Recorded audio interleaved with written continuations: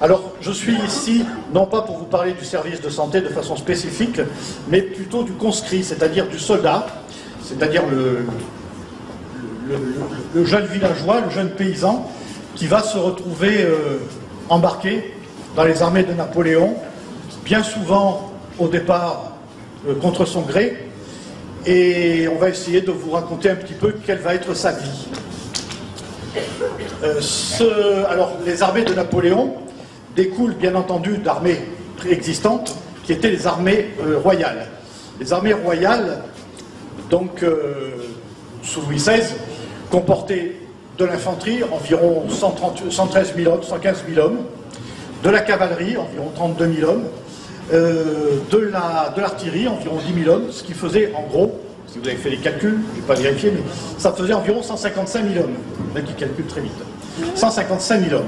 À ces 155 000 hommes, qui étaient donc des soldats, des gens qui recevaient une solde, et qui étaient donc des soldats de métier, euh, J'avais oublié de préciser aussi que dans les armées du roi, quand même, j'avais oublié l'essentiel, c'était euh, les, gardes, les, gardes françaises et les gardes suisses, qui étaient la garde rapprochée euh, du roi et qui étaient en général bah, des étrangers, enfin pas les gardes françaises, mais les gardes suisses, étaient des gardes suisses. Qui vont d'ailleurs payer un très cher tribut à la Révolution lors de la prise des Tuileries en 1792.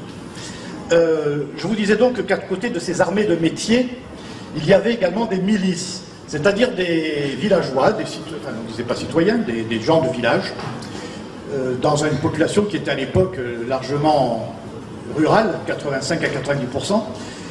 C'était donc des gens qui étaient vigoureusement sollicités pour se tenir disponibles au cas où il y aurait une guerre et pour venir renforcer les armées du roi.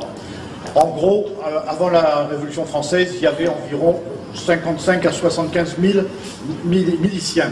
Alors ces miliciens, comment est-ce qu'ils étaient désignés? Je vous en parle parce que ce système de désignation va être repris ultérieurement sous l'Empire. Ils étaient désignés par euh, les paroisses. Chaque paroisse devait désigner un ou plusieurs soldats en fonction de ce qu'elle payait comme impôt. les paroisses payaient un impôt qui s'appelait la taille, et euh, il était décidé qu'à chaque fois qu'il payait 2000 euros d'impôts, ça correspondait au fait qu'il devait désigner un soldat. Ce qui était un petit peu injuste quelque part, plus il payait d'impôts, plus il désignait de soldats. Alors les paroisses, qui forcément n'étaient pas trop d'accord pour payer des impôts, ni pour désigner des soldats, avaient une petite tendance à désigner les soldats, enfin les, villageois qui leur étaient le moins utiles, c'est-à-dire un petit peu les idiots du village, les retardés ou les franchement casse-pieds, ne pas dire un autre terme, et donc, euh, les armées du roi en avaient un petit peu assez de voir appliquer comme ça des recrues qui n'avaient pas une grande, valeur militaire. Et donc, il a été rapidement préféré le système du tirage au sort. Le tirage au sort, donc, euh, les paroisses, toujours, devaient désigner, euh, par rapport à ce qu'elles payaient comme impôt, disons 10, 10, soldats potentiels. Et donc, il y avait une grande réunion qui se passait à la paroisse et euh, tous les jeunes gens, entre 20 et 35 ans à cette époque-là, tous les gens, se présentaient et tiraient un numéro. Et si par exemple il fallait désigner 10 soldats, ben, ils tiraient des numéros de 1 à 60, parce que bien entendu, il y avait un certain nombre de soldats dont les critères ne correspondaient pas à ce que l'on attendait d'un soldat. Parce qu'ils étaient trop petits, on reviendra tout à l'heure sur les tailles nécessaires, parce qu'ils avaient des difformités, des maladies. C'était une époque où il y avait énormément de maladies, du rachitisme, l'alimentation n'était pas il y avait beaucoup de maladies, euh, genre tuberculose, donc beaucoup de soldats, pour des raisons de poids, des raisons de taille, des raisons de malformation physique, des raisons de blessures qui étaient arrivées au champ, etc., ne correspondaient pas aux critères. Et donc, finalement, il y avait beaucoup de soldats qui n'étaient pas retenus, et donc il fallait en tirer un certain nombre pour arriver à avoir le nombre voulu de 10 soldats. D'autant qu'il y avait pas mal de moyens de ne pas faire, parce qu'évidemment les soldats n'étaient pas emballés à l'idée de partir en cas de guerre euh, auprès des armées du roi. Donc il y avait un certain nombre d'exemptions. Alors, je ne vous donnerai pas la liste ici, mais par exemple, bien sûr, les ecclésiastiques ou les séminaristes n'étaient pas euh, retenus, mais les serviteurs des, laquais, des serviteurs des séminaristes, par exemple, pour donner un exemple, n'étaient pas retenus non plus. Ce qui fait que lorsqu'on annonçait euh, qu'il allait bientôt y avoir un tirage au sort pour désigner un certain nombre de futurs soldats, euh, tout d'un coup, il y avait beaucoup de gens qui se précipitaient chez les ecclésiastiques du coin pour essayer de se faire engager comme laquais. Et donc à ce moment-là, le poste était très très recherché. Donc ces soldats, une fois qu'ils avaient été désignés par le tirage au sort, ben, ils attendaient chez eux, ils continuaient à faire leur vie normale, ils pouvaient être mariés, avoir des enfants. Ils recevaient en théorie une certaine somme d'argent, de l'ordre de 4 à 5 sols par jour, euh, sachant qu'un soldat sous les armes gagnait à peu près entre 7 et, et 10 sols par jour. Et puis ils attendaient qu'on les appelle, et le jour, sans recevoir d'ailleurs aucune formation. Ce qui fait que le jour où ils étaient appelés, ils se retrouvaient brutalement projetés dans le milieu militaire, sans avoir aucune formation militaire. Bien entendu, ils ne savaient pas manipuler les armes. Ils se retrouvaient dans un milieu qu'ils ne connaissaient absolument pas, au milieu de, militaires de carrière qui ne les accueillaient pas toujours très favorablement, à tel point que d'ailleurs, quand on devait leur faire faire la manœuvre, ces paysans qui euh, n'avaient pas l'habitude de distinguer la droite et la gauche, enfin, en termes de, de, mots, droite-gauche, ils savaient bien sûr où étaient leurs mains principales et leurs mains secondaires, mais ils ne savaient pas que c'était la droite et la gauche. Lorsqu'on devait les faire défiler au pas, et les faire marcher gauche-droite, gauche-droite, ça, ça ne marchait pas parce qu'ils ne connaissaient pas. Par contre, il y avait une chose qu'ils connaissaient bien, c'était les champs de leur commune, et donc on leur mettait de la paille dans une chaussure, du foin dans l'autre, et au lieu de dire gauche-droite, gauche-droite, on disait paille-foin, paille-foin, ça, ils comprenaient, et après, petit à petit, on, on arrêtait paille-foin, on passait à droite-gauche, droite-gauche. Bon, euh, évidemment, la Révolution française va arriver, 1789, ça va quand même modifier beaucoup les choses. Les, révolutionnaires vont supprimer les armées de métier, vont supprimer tous les corps étrangers. Ben, il va falloir, euh, malgré tout, retrouver euh, un semblant d'armée, mais un semblant d'armée citoyenne. Donc on va faire appel au volontariat, puisque quand même c'est la révolution. C'est chacun a ses idées, chacun est libre, chacun vient se, Là, il n'y a pas vraiment de chef, ça peut évoquer des situations. Il n'y a pas vraiment de chef, chacun fait un peu ce qu'il veut. Quand je dis qu'il n'y a pas vraiment de chef à cette époque, il y en a quand même un, c'est Lafayette. Lafayette est censé regrouper tous ces soldats volontaires, qui sont des civils sous les armes, et que l'on appelle la garde nationale. Donc ça, c'est 1789. Rapidement se constitue une garde nationale à Paris, plus ou moins spontanément, d'environ 45 000 hommes, au milieu desquels d'ailleurs se, glissent les anciennes gardes françaises qui avaient été licenciées. Euh, après 1789 euh, et qui n'était pas forcément parmi les gens les plus recommandables. Donc 1789, des, des gardes nationaux. En 1791, bon an, mal an, il y a à peu près 2 millions de personnes qui sont des gardes nationaux, c'est-à-dire qu'en gros, ils ont un uniforme et ils enquiquinent un petit peu tous ceux qui sont euh, considérés comme étant des contre-révolutionnaires. C'est principalement leur activité. Mais pour l'instant, hormis des conflits internes à la France, ne sont pas encore soumis à des conflits extérieurs. Alors, rapidement, quand même, on se rend compte que ces soldats qui sont des civils, des amateurs en quelque sorte, euh, en cas de guerre, et on en pressant que les guerres ne sont pas lointaines, euh, ne seraient quand même pas très très efficaces. Et donc on décide de pratiquer ce que l'on va appeler l'amalgame, c'est-à-dire qu'à chaque troupe de citoyens nouveaux, de citoyens révolutionnaires, on va euh, amalgamer, mélanger des soldats des anciens régiments. Les soldats des anciens régiments portaient des uniformes blancs, un petit peu comme mon camarade Yannick que vous voyez là-bas au fond, que vous pourriez voir là-bas au fond. Et donc, ceux-là, les blancs, sont les anciens, et les bleus, les gardes nationaux, vont porter un uniforme bleu.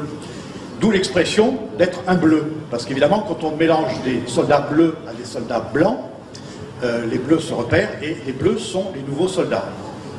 Donc euh, l'expression être un bleu vient de cette période-là où les soldats euh, ont pratiqué l'amalgame et où les soldats euh, gardes nationaux venaient se mélanger aux, anciennes troupes. Ça va, cet amalgame va se faire entre les années 91 et 94. et ça, ça va donner quand même une certaine efficacité aux troupes, de, la Révolution puis aux troupes de Napoléon, puisque les gardes nationaux quand même vont avoir un enthousiasme révolutionnaire qui va se répandre sur les gardes anciens, sur les armées plus anciennes. Et par contre, les armées plus anciennes vont avoir une expérience qui va venir se mêler à l'enthousiasme des jeunes. Et tout ça va donner des armées euh, assez efficaces, d'autant que ces armées vont voir dans un premier temps s'enfuir leur, euh, leur chef, les officiers, puisque bien entendu la plupart des officiers sous la monarchie étaient des nobles, et qu'après 89, être noble en France est un petit peu difficile.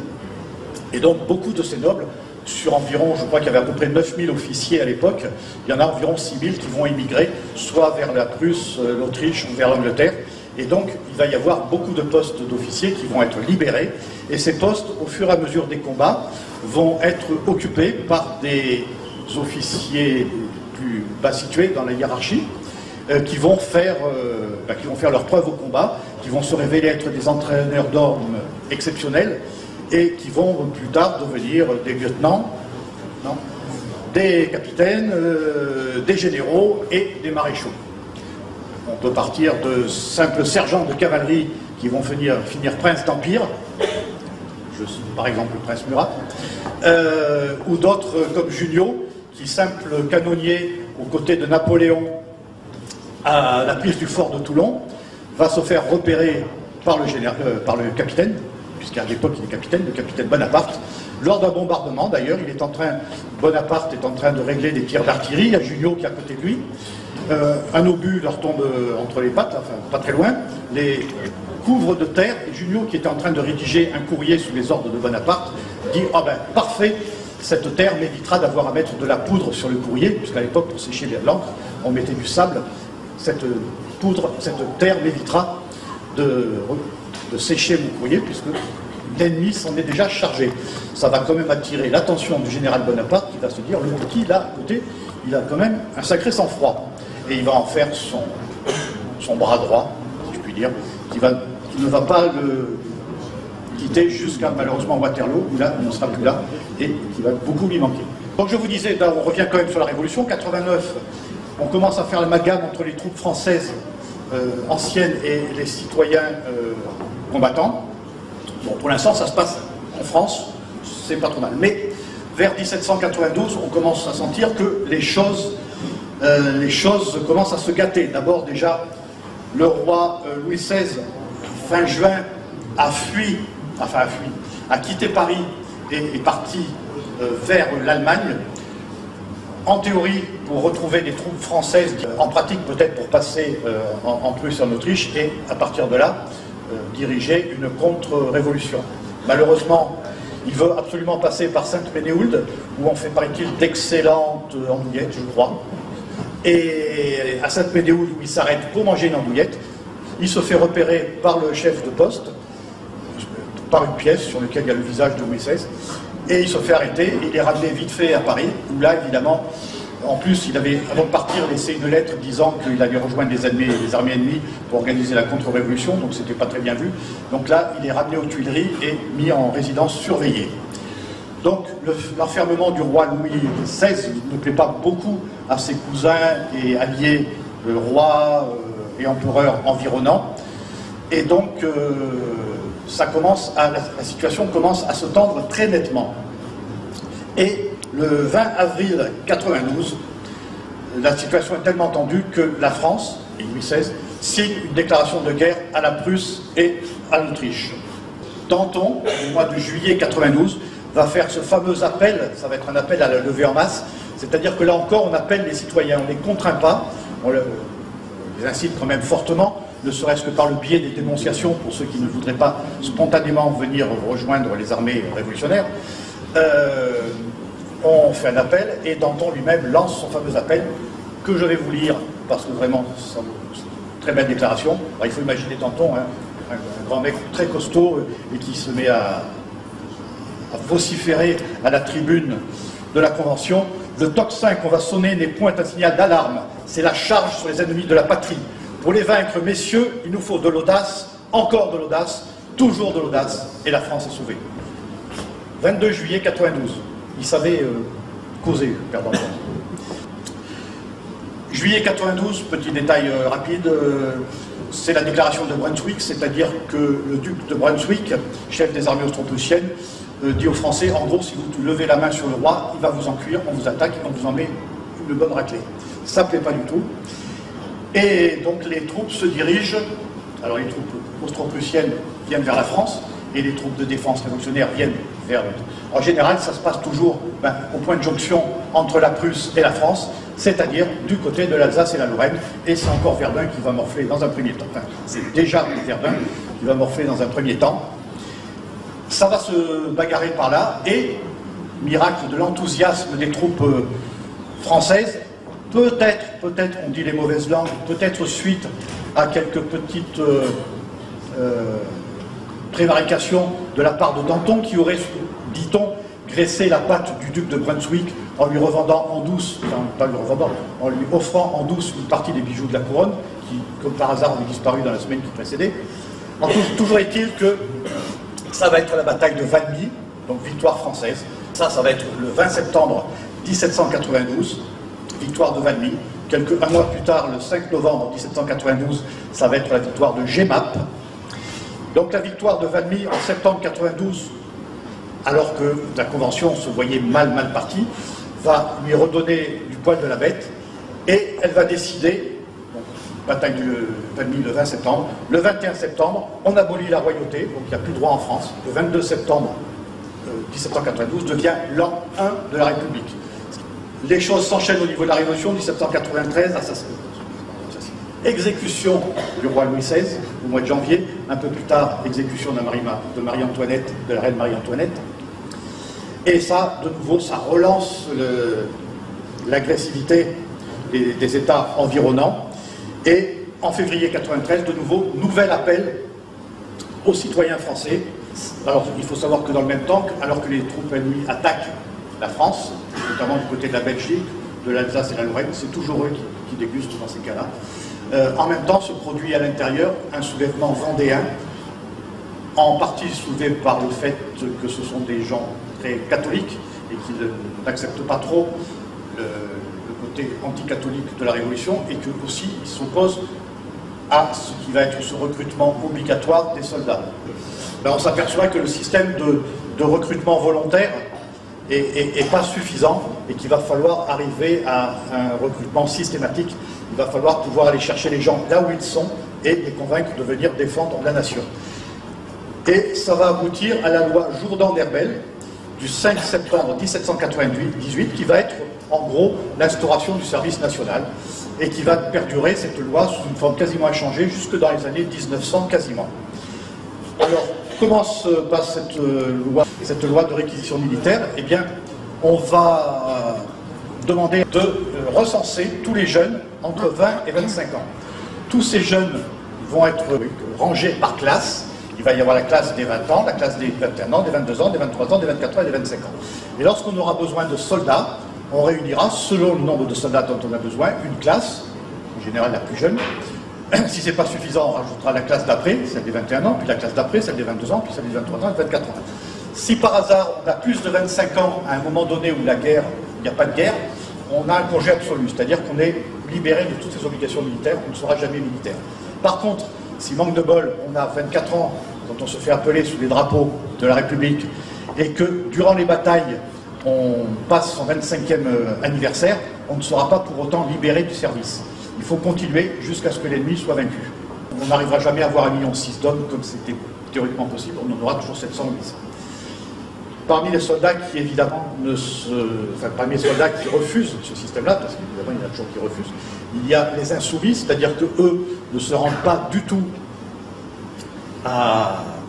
au canton le jour du tirage au sort, et puis il y a les déserteurs, c'est-à-dire ceux qui se rendent au canton, tirent au sort, donc de bol pour eux tirent un mauvais numéro, et refusent ensuite de se rendre euh, au casernement vers lequel ils sont dirigés, et ceux-là sont appelés des déserteurs. On en dira un mot tout à l'heure. Ah oui, ce que j'ai oublié de vous dire, c'est que tous ces jeunes gens donc, qui sont recensés sont inscrits sur des listes au niveau des, paroisses. Ils sont inscrits ensemble, donc ils sont co-inscrits, ils sont conscrits. Le terme de conscrit, le terme de conscription vient de ça. Ça veut dire co-inscrits sur des listes de soldats. Et ces fameux co-inscrits, bah, sur toute la période napoléonienne, c'est-à-dire en gros entre 1802 et 1815. Euh, si on rajoute aussi un peu les troupes étrangères, il y aura environ 2,5 millions de soldats qui seront euh, appelés sous les armes. Alors comment se passe la conscription? Eh bien le, soldat, le, jeune, villageois euh, répond à un appel. Il y a des gardes champêtres qui passent dans, dans le village et qui disent bon ben voilà, dans une semaine, rendez-vous sur la place du village, on va désigner tous les conscrits qui devront partir euh, rejoindre la caserne la plus proche de Montpellier par exemple. Donc tous les jeunes gens entre 20 et 25 ans se réunissent et déjà on va faire un premier tri. On va éliminer tous ceux dont la taille est inférieure à la taille limite, qui à l'époque est définie à 1m55. On va résumer 1m55. Donc tous ceux qui sont moins d'un mètre 55 ne sont pas à retenir. Ça, c'est la théorie, hein, parce que vers la fin de l'Empire, même ceux qui font 1m02, euh, j'exagère un peu, mais on en récupérera pas mal. Une fois que déjà on a fait le de la taille, on va vérifier la conformation physique. Quand même, il faut qu'un soldat ait une certaine apparence et puis surtout puisse supporter les fatigues de la guerre. Alors, on va éliminer euh, d'emblée un certain nombre de cas. Là aussi, c'est théorique, puisqu'on a un officier qui s'appelle René Prosper de Péreuse, qui dit on prend maintenant les bossus, les bords, les boiteux, et cependant, on nous chante qu'on est très sévère là-dessus. J'en ai personnellement fait réformer trois de la compagnie qui étaient vraiment très estropiés. Bon, déjà, on élimine tous ceux qui n'ont pas été appelés, puisqu'ils n'ont pas l'âge légal.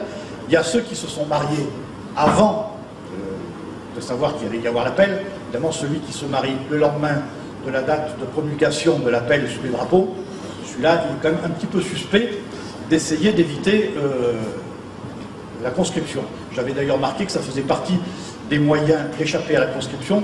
J'ai même noté entre parenthèses, parmi les moins dangereux, et après j'ai rayé parmi les moins dangereux, ça reste à discuter.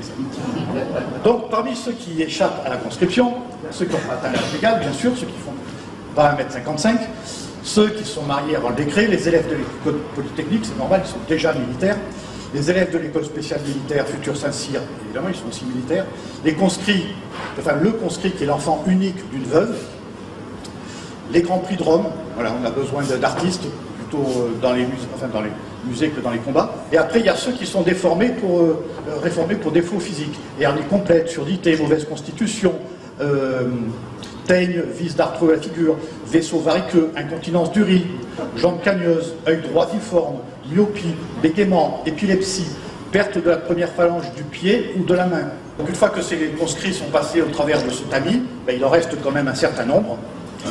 Et ceux-là, on va les faire tirer au sort. Donc ils vont tirer dans un chapeau, et puis euh, ben, les premiers numéros, mettons que ce canton doit désigner 130 conscrits, on va faire tirer tous les jeunes de 20 à 25 ans, et puis tous ceux qui vont tirer les premiers numéros, c'est-à-dire qu'on va les garder. Et d'ailleurs, ils sont déclarés bons pour le service, ce qui enthousiasme pas forcément les conscrits.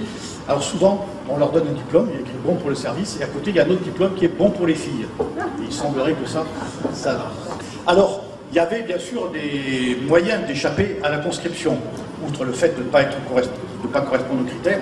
Une fois qu'on avait été choisi, il y avait la possibilité de s'engager dans la marine. Mais ça, je ne sais pas si c'était vraiment un très bon calcul, parce que s'engager dans la marine française, euh, on l'a vu à Trafalgar ou à Boukir, la bataille navale d'Aboukir, c'était quand même pas des vacances. Hein. Euh, donc, c'était des militaires, sauf qu'ils étaient militaires dans la marine et pas dans l'infanterie. C'est un moyen possible, préférer la marine à l'infanterie. Après, il y avait donc la possibilité de se marier.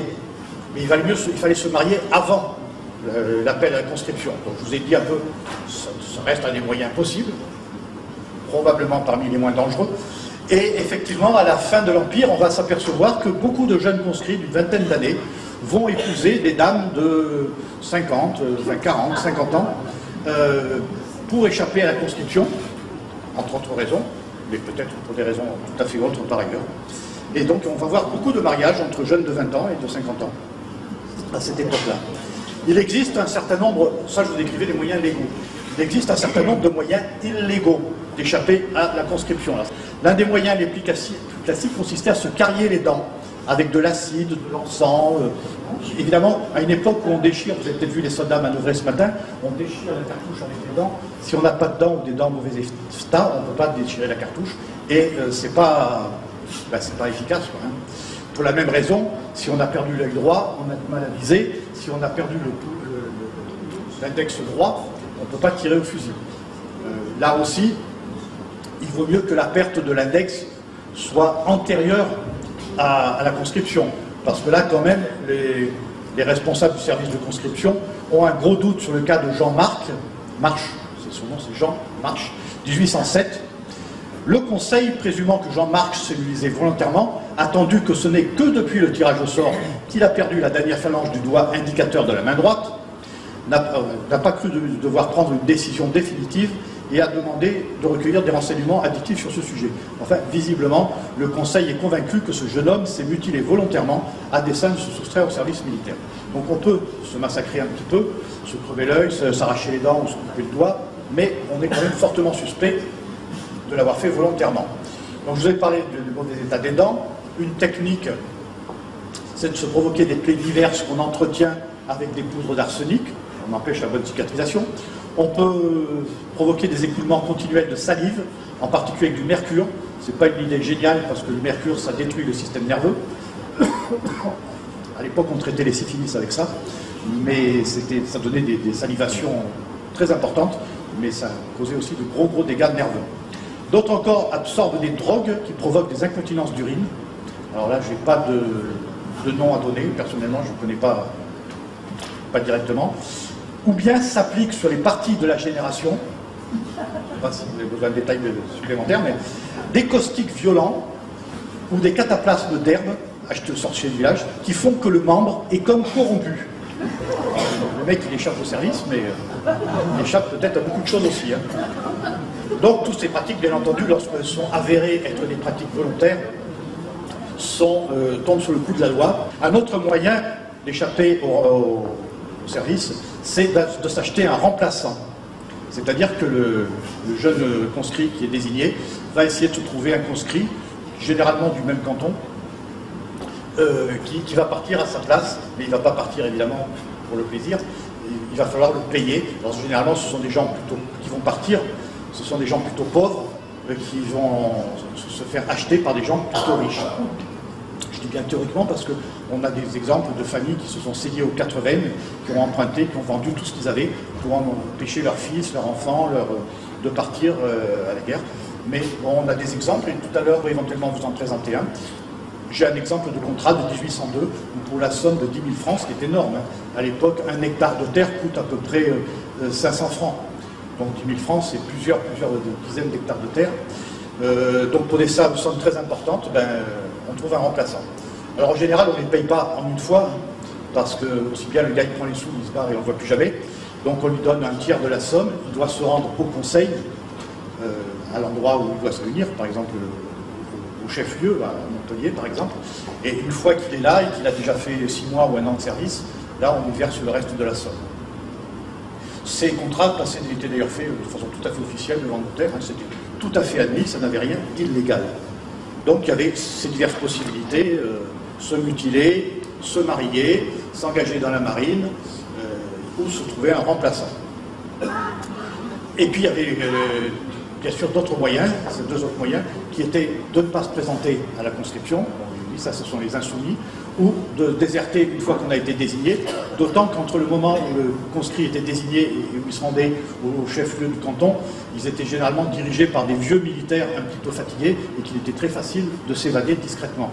Mais ça, ce n'est pas une bonne solution pour la famille, parce que dans ces cas-là, on mettait à domicile dans la famille du conscrit insoumis ou déserteur ce que l'on appelait un garnissaire, qui était en fait un soldat, voire plusieurs soldats, qui étaient logés à domicile dans la maison du déserteur ou de l'insoumis, euh, que la famille devait payer, nourrir, loger, et qu'en plus le gars il était, il était même conseillé d'essayer de mettre le plus de pagaille possible dans la maison. Donc la situation devenait très vite intenable pour la famille, et en général c'est la famille elle-même qui essayait de contacter le déserteur ou l'insoumis en lui disant bon reviens parce que là on n'en peut plus, ça va mal se terminer.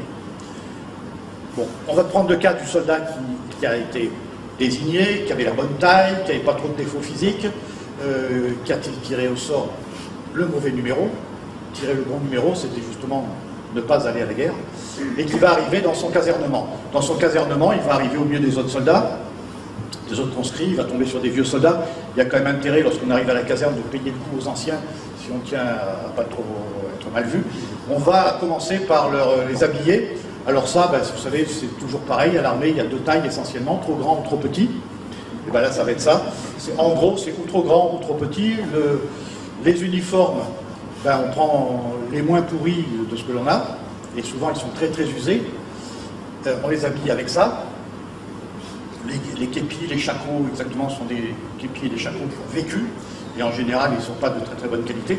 Pour vous donner un exemple, c'est sur les champs de bataille, on récupère les uniformes à la fin de la bataille, des soldats morts, et on les, moyennant finance, éventuellement, la personne qui les a récupérés, on les rachète toute petite somme et on les renvoie dans les casernes pour qu'ils aillent équiper de nouveau les futurs soldats. Le coup du pantalon rouge dont on a parlé en 14-18, ça existait déjà à l'époque.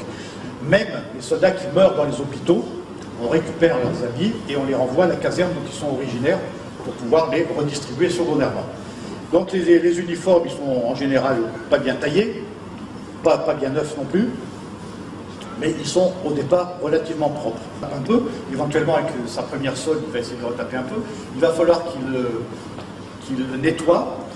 Par exemple, les boutons, il va se servir de quelque chose pour nettoyer qui s'appelle une patience, qui est un, instrument permet de, plastiquer ces boutons euh, sans salir le vêtement qui est derrière. Donc je mets ce bouton là, je le remonte, je ne suis pas bien là, mais vous voyez le principe, et avec une brosse, je brosse. Ça s'appelle une patience. Euh, les vêtements qu'on distribue aux soldats sont des vêtements qui ont des couleurs, parce que ces couleurs, d'abord, permettent aux régiments de se reconnaître entre eux, et ensuite aux armées de se reconnaître entre elles. Ces couleurs ne sont pas waterproof et donc ne partiraient à l'éventuel lavage. Il n'y a pas de risque, elles ne sont jamais lavées. Par contre, elles sont entretenues. Et les vêtements, donc, il est bien conseillé de ne pas les laver, mais de les entretenir. Et donc de les vergeter. Donc, voilà avec quoi on vergette. Ça, c'est un martinet moderne, mais j'imagine que ça devait ressembler à ça. Les collègues dans la salle. Voilà, on tape sur les vêtements comme ça, ça permet de faire partir la poussière. Mais ça ne fait pas partir les mauvaises odeurs, euh, ni la sueur, ce qui fait que au XVIIIe et XIXe siècle, on entend, on sent arriver une armée longtemps avant de l'entendre arriver, et encore plus longtemps avant de la voir arriver. Ceci dit, si on prend mon uniforme que je traîne depuis 2005, euh, on commence à vraiment sentir l'uniforme de guerre. Alors, si on lit les mémoires de Coignet, par exemple, vous avez vu tout à l'heure que vous aviez un, officier de grenadier avec des guêtres blanches. Il est très difficile d'entretenir des guêtres blanches. Euh, les soldats avaient plusieurs, petits trucs à eux pour faire ça. Ils nettoyaient ça avec de la terre, etc. Euh, Coignet décrit qu'ils utilisaient de la craie, de la craie blanche pour blanchir leurs guêtres. Ce n'était pas recommandé parce que la craie euh, est abrasive et abîmait les guêtres, mais avant une parade, euh, il fallait vraiment bien paraître ils n'hésitaient pas à recourir à la, à craie pour euh, blanchir leurs guêtres. Mais ceci dit, ça n'était pas du tout, du tout euh, recommandé. Et euh, la plupart du temps, les soldats avaient un bel uniforme à peu près correct au moment des entrées dans les villes, histoire d'impressionner les troupes amies ou ennemies, les villageois des troupes des pays amis ou ennemis dans lesquels on entrait, ou les troupes ennemies. Mais la plupart du temps, ils étaient quand même relativement débraillés au bivouac, outre le bonnet de police qu'il portait, souvent il portait un sarrau, qui est en fait une espèce de chemise de grosse toile qui, protégeait euh, leurs vêtements euh, et qui, remplaçait la veste que je porte sur moi. Les chaussures, les soldats portaient des chaussures, ces chaussures sont des chaussures cloutées. Alors, ces chaussures étaient fournies par l'administration. L'administration eh ben, achetait ces chaussures à des entreprises privées dont le but était plus de faire des bénéfices que de bien équiper les soldats. Et les soldats se retrouvaient souvent avec des chaussures, euh, comme ils disaient, avec des semelles de carton. Ces chaussures, ils étaient euh, amenés à les clouter eux-mêmes. Donc dans leur havre-sac, qui est l'espèce de sac à dos euh, qu'ils avaient sur le dos, il y avait toujours... Euh, oh, pas la peine, voilà, voilà, sac à dos en, en de vache. Euh, ils avaient toujours une paire de chaussures supplémentaires. Alors, c'était bien parce qu'il n'y avait ni pied droit ni pied gauche. Ce qui fait que si c'était la chaussure gauche ou la chaussure droite qui tombait en panne, ils en avaient toujours une pour la changer. Et en fait, le pied se faisait au fur et à mesure. Tu as quelque chose à nous montrer sur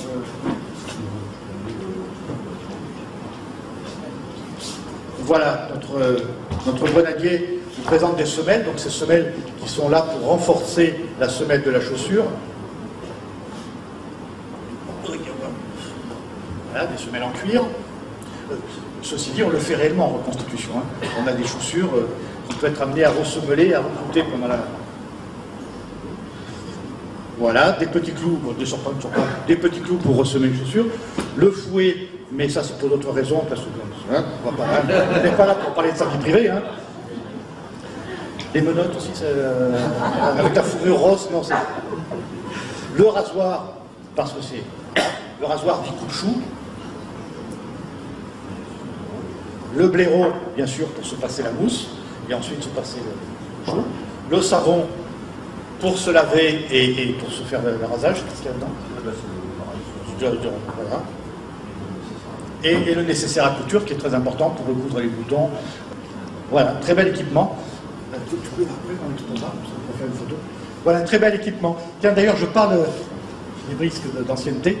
Euh, ça me fait penser à une anecdote. Sous la royauté, lorsque les soldats avaient fait 24 ans, ils avaient ce que l'on appelait un médaillon de vétérance. On a des cas de soldats qui ont deux médaillons de vétérance, c'est-à-dire qu'ils ont fait 48 ans sous les armées de la monarchie. Et on a le cas d'un soldat qui s'appelait Jean Turenne, qui a trois médaillons de vétérance. C'est-à-dire que le gars, il a fait 72 ans dans les armées du roi. Il a été décoré de la Légion d'honneur en 1802 par Napoléon. Si on pense qu'au plus jeune, il est quand même rentré à 18 ans, il s'est tapé 72 ans de combat avant 89, euh, ça fait donc 72 euh, et 18, il avait déjà 90 ans dans les années 90. Et donc 10 ans après, en 1802, on lui donne la Légion d'honneur, donc a priori il est toujours vivant. Euh, il avait plus de 100 ans, le gars. effectivement, Jean Turel, 72 ans dans les armées du roi. Excusez du peu, et c'était pourtant pas un planqué. Hein. Le soldat, on l'a à peu près habillé, on le fait manœuvrer, il mange dans, il mange dans, sa caserne, etc. Bon, dans la caserne, il fait les manœuvres, il n'y a, a, rien de bien particulier. Ce qui est intéressant, c'est quand il va sortir de sa caserne. Alors le soldat reçoit une solde. Bien entendu, les commissaires des guerres, ceux qui vont payer les soldats, ne sont pas fous quand ils doivent payer la solde des soldats et qu'il y a un combat dans l'air. Ils payent la solde plutôt après le combat qu'avant le combat. En règle générale, on fait de sérieuses économies. Alors en plus, si on attend 15 jours après, le temps que la maladie fait son œuvre sur les soldats blessés, alors là, c'est quasiment gratos. Hein. Donc on va parler quand même de la vie du soldat euh, en campagne. En campagne, Quelquefois, il va bivouaquer. Euh, il y a des périodes entières où le soldat va s'arrêter dans des grandes villes, comme par exemple à Vienne en 1802. Il y a une petite accalmie dans les guerres révolutionnaires et les guerres de Napoléon. Je rappelle que Napoléon n'a jamais provoqué aucune guerre, a toujours été entraîné dans des guerres qui étaient d'abord les guerres de la Révolution et ensuite les guerres de l'Empire, les guerres de l'Empire étaient toujours provoquées par les coalitions qui étaient en général financées en sous-main par l'Angleterre. Napoléon de lui-même a provoqué relativement peu de guerres, mais il faut dire aussi qu'il suivait volontiers le mouvement quand une guerre était provoquée. Donc lorsque le soldat se déplaçait, euh, devait aller d'un point à un autre, les caractéristiques des armées de Napoléon, c'était de se déplacer très très vite. Les soldats de Napoléon disaient que, les soldats disaient que Napoléon gagnait ses guerres avec leurs pieds, beaucoup plus qu'avec leurs fusils. Il les faisait marcher très très vite. Et par exemple, je crois que Gérald de Mongin nous le confirmerait, mais je crois qu'à la bataille d'Austerlitz, les troupes de Davout, c'est ça De ont, pratiquement marché plus de 100 km en 72 heures. Ils ont fait une moyenne de 40 à, 50 km par jour pendant, pendant 3 jours. Surtout qu'avant, ils s'étaient tapés 1800 bornes depuis Boulogne jusqu'en en Tchéquie. Ça fait quand même beaucoup. Donc, les soldats de Napoléon marchaient énormément. Donc ils étaient secs et maigres, euh, sauf qu'ils avaient sur le dos les havresacs qui, en théorie, comportaient 20 kg de matériel.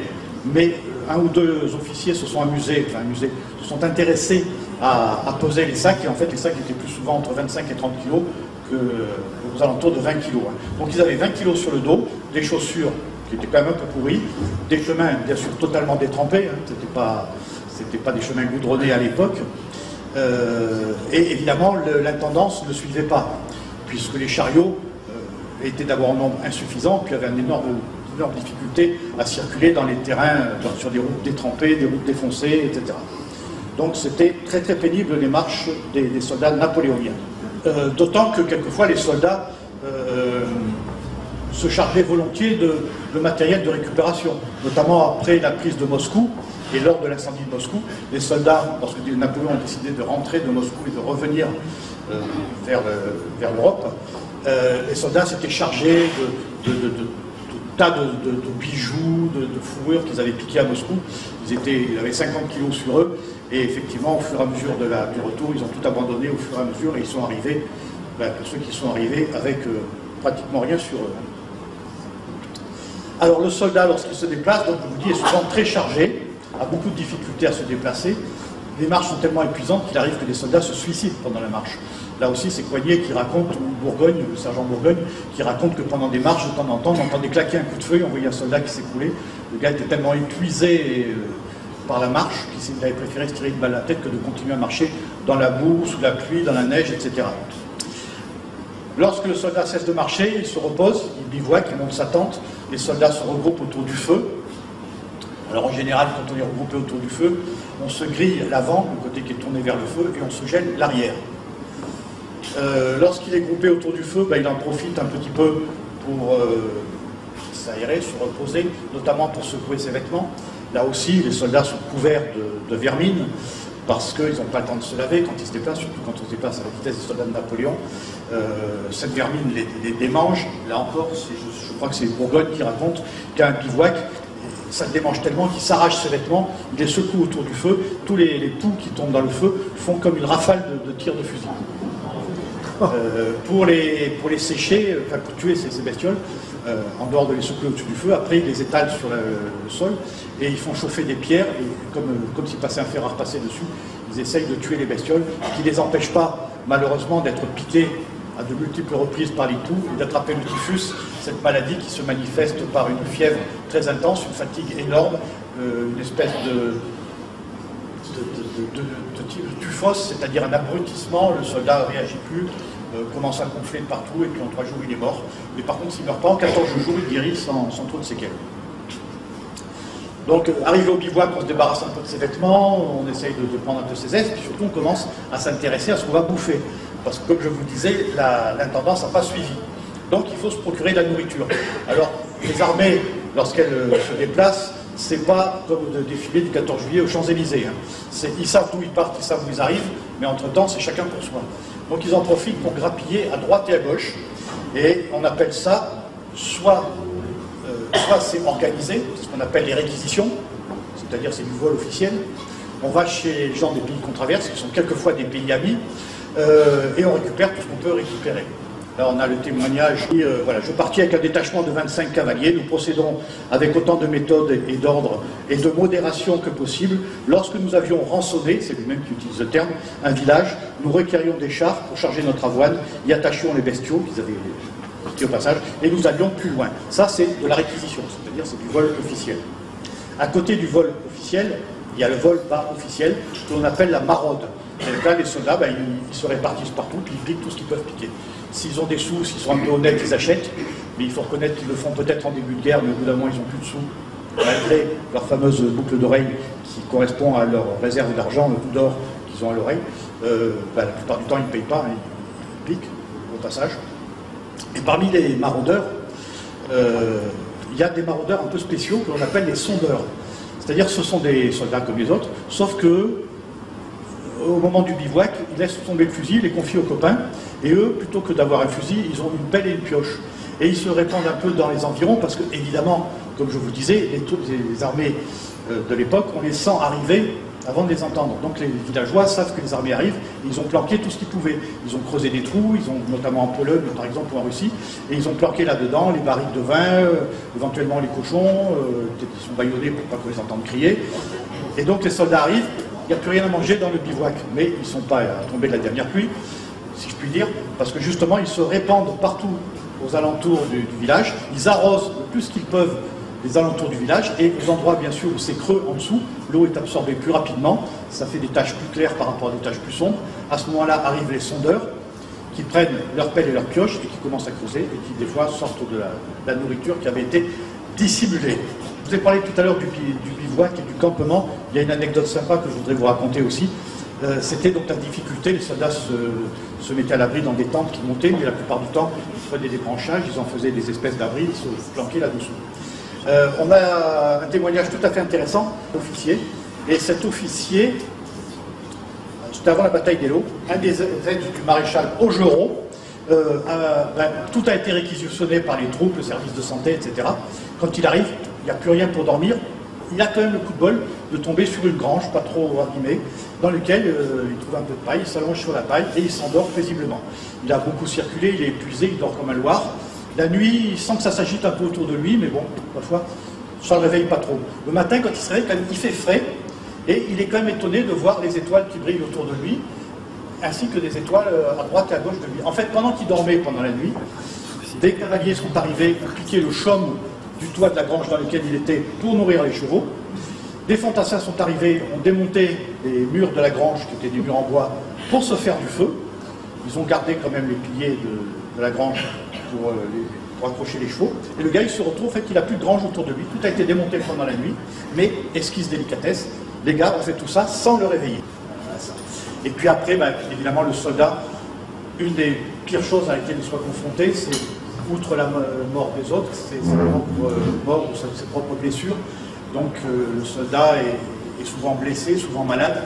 Et c'est là qu'il faut dire un petit mot du service de santé.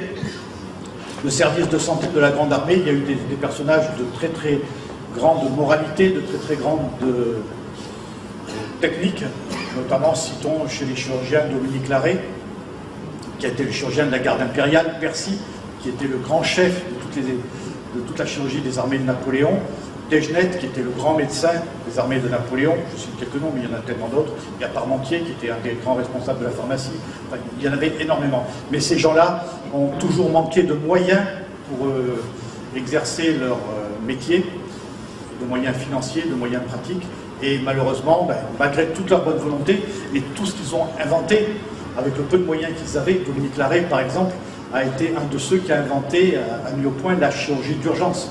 Ça a été le premier à dire, si on veut qu'un blessé ait des chances de survie augmentées, il faut le ramasser dès qu'il est blessé, avant que l'hémorragie, la fièvre, euh, le saignement, euh, éventuellement les ennemis, euh, aient aggravé les choses. Et donc il faut très vite le ramasser, très vite lui donner les premiers soins, très vite l'évacuer.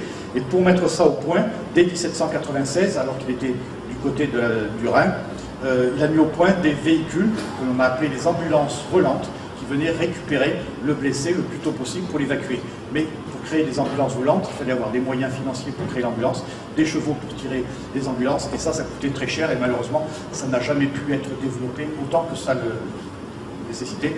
Et donc, souvent, le soldat Napoléon blessé ne pouvait recourir qu'à ses propres moyens pour se traîner jusqu'à l'hôpital provisoire le plus proche, c'est-à-dire en gros une grange où se trouvaient un ou deux chirurgiens.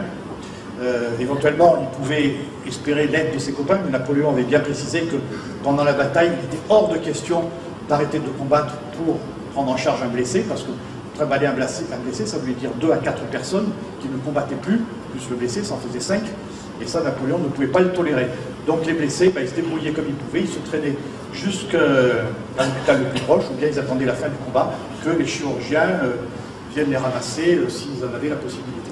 Une fois qu'ils étaient ramassés, il fallait les soigner. Euh, beaucoup d'infections, bien sûr, dans, ces plaies par balles, dans, la boue, dans la terre, etc. Une des thérapeutiques les plus efficaces et les plus rapides pour éviter l'infection et la gangrène, c'était l'amputation, d'où le grand nombre de blessés amputés pendant les guerres de Napoléon. On vous en dira un mot tout à l'heure. oui, Marie, si tu peux passer la scie amputation, pas le traitement parce qu'il va tomber. Donc, euh, pour faire une amputation, il fallait un garrot pour arrêter les saignements, pour vous montrer tout à l'heure. Il fallait euh, une scie, un couteau pour couper les chairs, une scie pour couper les os, de quoi faire les pansements après, et le tout sans anesthésie. Ce qui fait que le chirurgien, en fait, avait euh, comme seul moyen de faire mal, moins mal, c'était de faire mal moins longtemps, donc il fallait qu'il soit rapide et qu'il ait des instruments efficaces. mais avec ces systèmes primitif, on va dire, qui correspondait malgré tout euh, au summum de la technicité de l'époque, euh, bah, quelqu'un comme Dominique Larrey arrivait à sauver un amputé sur, euh, cinq amputés qu'il qui opérait, il y en avait qui, trois qui survivaient, deux qui mouraient. Il faut dire aussi qu'au départ, il ne traitait que les gens pour lesquels il pensait avoir une bonne chance de survie. C'est-à-dire qu'il n'allait pas opérer le gars qui malheureusement était fichu. Celui-là, notamment les plis abdominales ou les plaies thoraciques, on les mettait dans un coin, on leur donnait un peu d'alcool, éventuellement un peu d'opium si on en avait, et puis on les laissait mourir de, seul, euh, il n'opérait que les gens qui espéraient pouvoir tirer d'affaire. Mais parmi ceux-là, il y avait quand même pas mal de réussites. Donc on a pas mal de descriptions de blessés, mais ça j'en parle pas, des conditions de blessés euh, horribles où le chirurgien, on voit les piles de bras de jambes qui s'empilent à côté du chirurgien, c'est notamment Dominique Larrey, euh, où Percy raconte que ben, quand il arrive sur place, évidemment l'intendance n'a pas suivi, il n'y a pas de charpie, donc il fait récupérer chez les dames du village tous les vêtements qu'on peut déchiqueter pour faire des pansements. il va chez le boucher ou chez le quincaillier du coin, il récupère le menuisier, il récupère toutes les scies qu'il peut, il réquisitionne toutes les granges pour faire des espèces d'hôpitaux, et puis il se débrouille avec tout ça. Et puis quand les, les ambulants, l'intendance arrive, les chariots de l'intendance arrivent, ben, ils arrivent avec des chariots tout brinques ballants euh, qui débordent de prothèses, euh, de jambes de bois, de béquilles, etc. Ce qui ne donne pas un très très bon climat euh, aux yeux des soldats qui vont combattre le lendemain, parce qu'ils se disent là, ceux qui vont perdre leurs jambes et leurs bras demain. Alors, une fois que le blessé est arrivé à se traîner jusqu'à jusqu'à l'hôpital, qu'il a été opéré par le chirurgien, je vous le rappelle, sans anesthésie, sans antibiotiques, sans désinfection, qu'il a déjà supporté dans un premier temps cette, intervention. Tu peux passer la, grosse pipe, euh, Marie? Le, Ou la petite pipe, la petite pipe, euh, voilà, en terre. Et eh ben, tout le monde euh, dans l'hôpital fume. Pourquoi D'abord parce que ça les occupe, mais d'autre part parce que, évidemment, avec tous ces blessés qui saignent, qui vomissent, qui font leurs besoins dans de la paille qui n'est jamais changée, qui est pourrie, ça sent horriblement mauvais je décris bien, c'est vraiment dégoûtant. Et donc, pour essayer d'améliorer euh, les odeurs, tout le monde fume. Les blessés fument, les chirurgiens fument. Et le blessé qui a perdu tellement de sang, qui a une telle infection qu'il n'a plus la force de tenir sa pipe, lâche la pipe, elle tombe, elle se casse, et le blessé casse sa pipe. Voilà pourquoi tout le monde fumait sur les champs de bataille. C'était pour sur après la bataille, dans, dans, les bivouacs, tout le monde fumait pour essayer de purifier l'odeur et que ça sente un peu moins mauvais. Ensuite, bah, malheureusement, les, blessés meurent aussi de maladies, très souvent d'ailleurs. Le maréchal là, qui va perdre une jambe, euh, qui va être amputé d'une jambe, euh, va mourir 3-4 euh, jours plus tard de, dysenterie, parce qu'il a attrapé, à, traîner sur de la paille. Encore lui, c'est un maréchal, donc il a mis de la paille un peu plus propre. Bah, il va mourir de maladie parce qu'il est tellement affaibli, il a tellement saigné qu'il n'a plus les moyens de reprendre le dessus.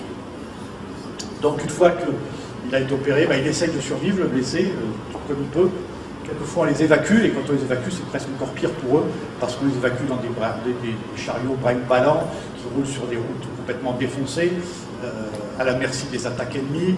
Euh, les pendant le transport, ils ne sont pas nourris, ils ne sont pas lavés, ils ne sont pas euh, réhydratés. enfin, c'est encore pire. C'est une véritable torture que d'être évacué.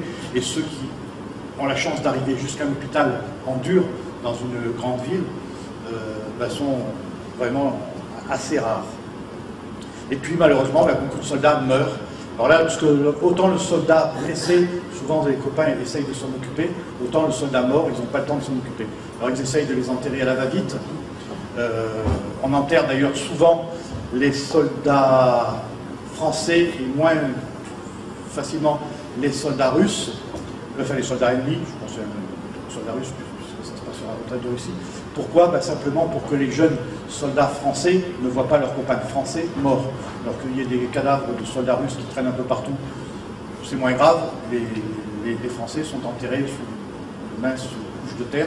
Ce qui fait que, à l'année, dans des combats comme par exemple à Moscouva, où il y a énormément de blessés et de morts, ben, on enterre rapidement les soldats français en priorité, quelques Russes si on peut. Mais au retour, quand ils vont revenir de Moscou et qu'ils vont repasser par le même chemin, ils vont retomber sur les mêmes charniers, il y a des soldats français. Entre-temps, les bestioles euh, sauvages du coin sont passées, il y a eu des tempêtes, il y a eu des caissons d'artillerie qui ont roulé là-dessus, la, cavalerie qui est passée, tous les, corps sont à moitié déterrés, enfin c'est une horreur. Donc le soldat mort, euh, malheureusement, est, un peu abandonné. Euh, comme je vous disais, abandonné, mais quand même, entre-temps, on a quand même récupéré ses vêtements, on a récupéré les casques, on a récupéré les armes, on a récupéré tout ce qui était qui était précieux, même les copains récupèrent ce qui est précieux pour eux, ils sont censés les ramener à la famille, mais ils n'ont pas toujours le temps de le faire. La boucle d'oreille, la boucle d'oreille que portent les soldats, c'est un petit peu leur traversée chèque. Ils rentrent dans un pays avec la boucle d'oreille, ils échangent contre la monnaie du pays, quand ils sont, sortent du pays, ils revendent, ils rendent la monnaie qui leur reste, et ils rachètent une boucle d'oreille qui va leur permettre d'aller dans le pays voisin, et qui en théorie leur sert aussi de, somme d'argent pour qu'ils soient enterrés. Mais bon, dans un combat, on récupère un peu d'argent, on laisse le, le corps là où il est. Euh, à Vilnius d'ailleurs en 2000, lorsqu'on va découvrir des soldats de Napoléon à Vilnius, euh, on va retrouver euh, bah, des, milliers de soldats qui vont être enterrés dans des fosses. Alors c'était des fosses qui avaient été creusées à l'allée, des fosses de défense. Et ben, les soldats vont, passer, puis vont revenir au retour. Là, il va y avoir énormément de morts liés aux attaques de Cosaques, liés au froid, puis surtout liés à l'affaiblissement par le typhus. Ben, tous ces morts, on va les balancer dans les trous qui ont été creusés à l'allée.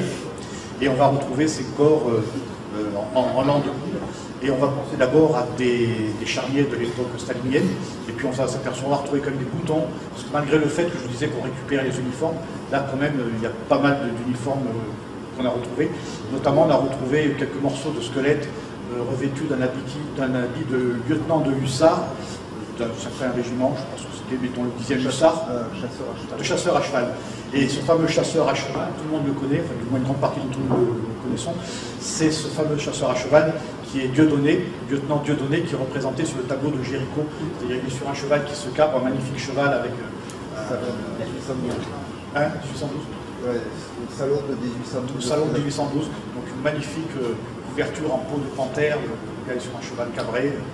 Ben, c'est magnifique. Ben, ce gars-là, on, on s'aperçoit, parce que les soldats mouraient, mais les- les- l'administration faisait bien son boulot, on s'aperçoit qu'à Vilnius, sur cette période-là, il n'y a qu'un seul lieutenant du, Chasseur à cheval. de chasseur à cheval qui, qui est mort, c'est le lieutenant Dieudonné.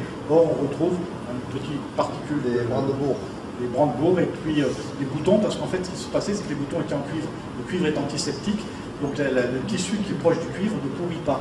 Donc on a pu euh, définir qu'il s'agissait d'un d'un uniforme de, lieutenant de chasseur à cheval. Et comme le seul lieutenant de chasseur à cheval qui était mort à Vilnius sur cette période-là, c'était le lieutenant Dieudonné, on en a euh, conclu que c'était la veste du lieutenant Dieudonné. Ça ne veut pas dire pour autant que c'était le corps du lieutenant Dieudonné qui était à l'intérieur, parce que c'était peut-être quelqu'un qui avait récupéré ça pour se réchauffer. Enfin voilà. Donc les morts sont abandonnés. Enfin, sont- si on peut, on les balance dans des fosses. Je dis bien on les balance, hein, parce que c'est des brouettes entières, de- enfin des brouettes, charrettes entières de blessés, de morts que l'on balance.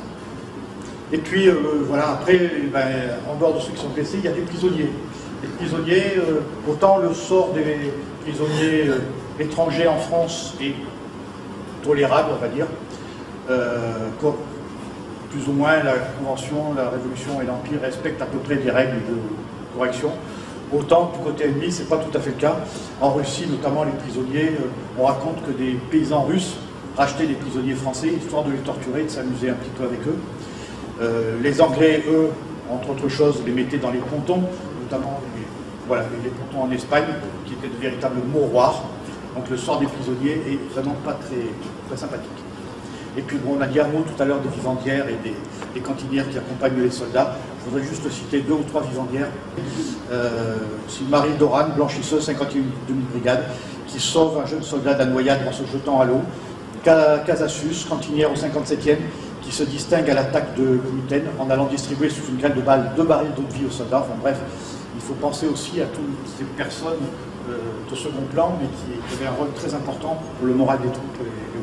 Le soldat, ben, une fois qu'il a fait tout ça, s'il a survécu à ses blessures, ben, il va être éventuellement décoré de la Légion d'honneur, 1802, première décoration de la Légion d'honneur. Euh, invalide, il va avoir un bras, une jambe euh, en moins. Peut-être qu'il finira sa vie à l'hôtel des Invalides ou, aux équivalents de province. Et puis il y aura les demi-soldes, ça on vous en a parlé, ce sont des gens qui, vont continuer à faire vivre la mémoire de l'empereur euh, avec difficulté. Voilà, donc euh, ben, je vous ai un petit peu survolé la vie du soldat, euh, comment est-ce qu'on devenait soldat sans enthousiasme, euh, comment est-ce qu'on vivait sa vie de soldat, et puis finalement, ben, sous l'Empire, il y a eu environ 2 millions de soldats français, 450 à 500 000 soldats euh, étrangers qui ont été incorporés dans les armées entre 1802 et 1815. Sur ces soldats-là, il y a eu environ 850 000 Français qui sont morts, euh, environ 400 et quelques mille France, euh, étrangers qui sont morts, enfin en tout cas qui sont disparus. Quand je dis qu'il y en a 800 000, ils sont morts ou disparus. Heureusement, parmi les disparus, il y en a certains qui se sont installés sur place, notamment en Russie par exemple, où on retrouve beaucoup de familles descendants de soldats français. Mais enfin, en gros, il n'y en a qu'à 800 000 qui ont disparu, euh, 400 000 étrangers qui ont disparu, c'est-à-dire environ 1,3 million, 1,4 million sur 2,4 millions. Ça veut dire qu'il y a quand même à peu près un million de soldats qui sont venus des guerres de Napoléon et qui sont venus euh, bah, nourrir la légende napoléonienne, blanche ou noire, parce que certains, beaucoup même, n'étaient pas très enthousiasmés par ce qu'ils avaient vécu, d'autres l'étaient. Euh, voilà, c'était une, période-là était quand même quelque chose d'exceptionnel en termes d'intensité de vie. Et, puis je crois qu'il est très, beau pour le village de, la ville de Bayard d'avoir euh, voulu évoquer la mémoire de ces soldats qui étaient des gens simples, des gens de, base, par le biais de cette fresque que nous avons inaugurée ce matin. Et je terminerai en, en disant d'abord vive le roi de Naples, et puis vive Napoléon, vive l'empereur, vive l'empereur